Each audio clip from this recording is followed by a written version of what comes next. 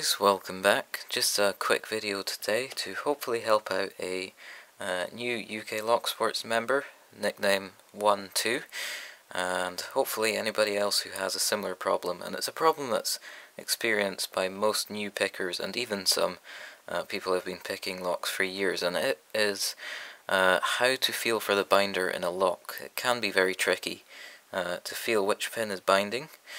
And so today I'm going to share with you a technique that I like to use uh, when picking a lock that's especially oriented in this uh, this European position uh, with the pins pointing upwards like this.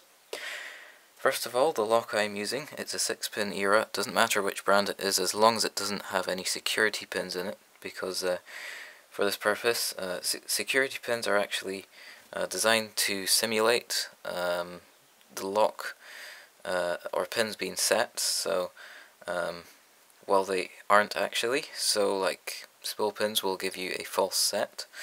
Um, uh, so I'm going to be using a lock with standard pins in it, um, if you like, and I especially recommend this for any new pickers.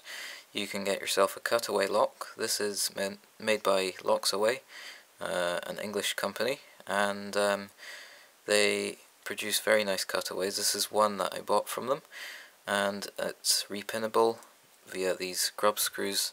They do supply an Allen wrench for those, or an Allen key as we commonly call it in the UK. You can uh, pin this up any way you want. They do supply pins and also spools.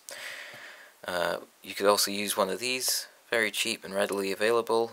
Um, it's just a plastic um, lock so you can see the pins while you're picking them. But for this video, just to ensure that we don't cheat, we're going to be using a sealed lock. So, uh, the hook I'm going to be using is a Euro hook, and I recommend this hook to uh, for this task. And uh, there's another one there. Notice how it's nicely curved, it's not too deep, it's not too shallow. And uh, also I recommend getting a lock that doesn't have crazy up and down bitting. Um, so, for example, something like this is going to be very tricky to pick as opposed to um, let me get a nice flat key for you. Maybe.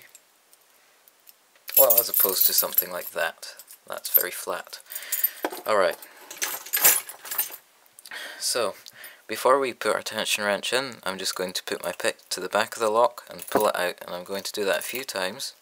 And I can feel that there's absolutely no uh, binding at all when I pull my pick out of the lock. It pulls right out, nice and freely.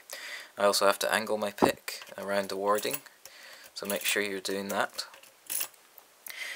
Now I'm going to do the same thing, but I'm going to add some tension.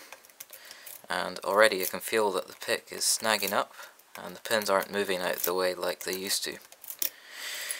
Okay, so now what I'm going to do, I'm going to insert my pick right to the back of the lock and uh, the way I hold my pick, I hold it with uh, my finger here on the shaft of the pick and I press it right up against the face of the lock and that just helps me to um, better control uh, the position of my pick in the lock. So try and get some focus here. And then I'm going to put my pick right to the back of the lock and slowly pull it out. And look, watch my, my pick shaft.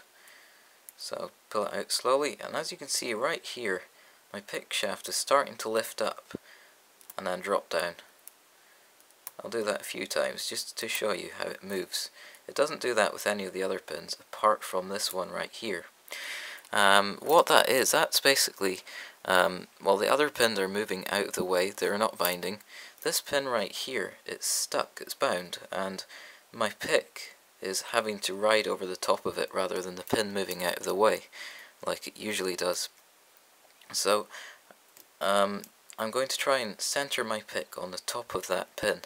Now, the pins are shaped like this. Uh, picture them as mountains and when, when you pull your pick out of the lock, the, pick will first of all climb up this side of the mountain, and then if you keep pulling it out, it'll come down the other side here.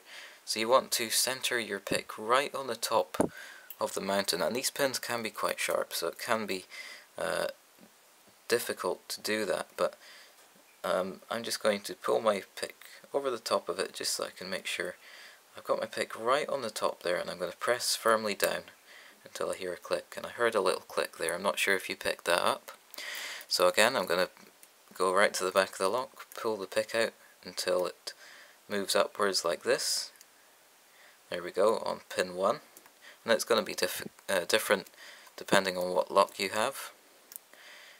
Uh, so right there pin 1 I'm going to go to the top of the mountain. On the very center of the pin I'm going to press down until I hear a click like that. I'm going to go to the back of the lock again and my pick's rising up just there so that feels like pin 5 it doesn't matter. Either way I feel like I'm centered right here.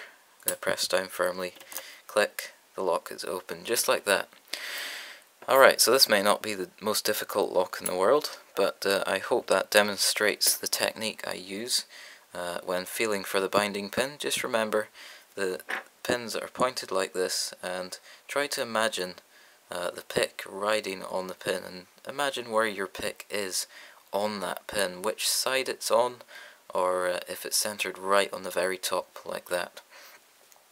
Well I hope this uh, is helpful to somebody. Um, it may not work on every lock, like I said. It's uh, also um, locks with security pins are a lot more difficult to pick, um, but this should uh, help you get your pick centered and to feel which pins are binding in the lock. Um, so I hope this helps. Um, one, two. Um, if you uh, need a suitable lock, then I will um, have a look in my collection and uh, see if I can find one to send to you, supposing you are in the UK or Europe. But there you go, uh, hope this helps, and uh, thanks for watching, and I'll see you in my next video.